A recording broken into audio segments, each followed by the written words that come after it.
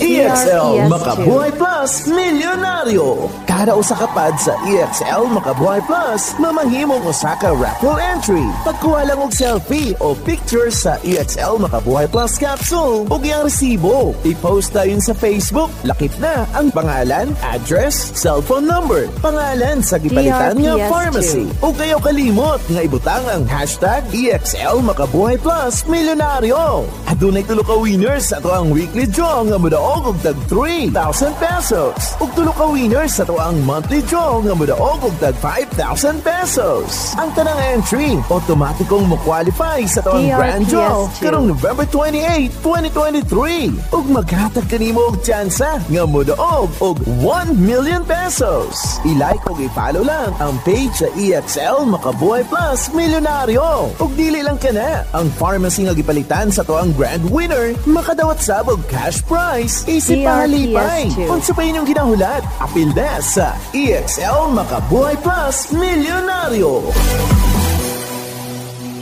EXL Makabuhay Plus Millionario promo period is from March 31 to October 1, 2023. The grand draw is on November 28, 2023. See posters and print ads for details for DOH FDA CFRR permit number 0432 series of 2023.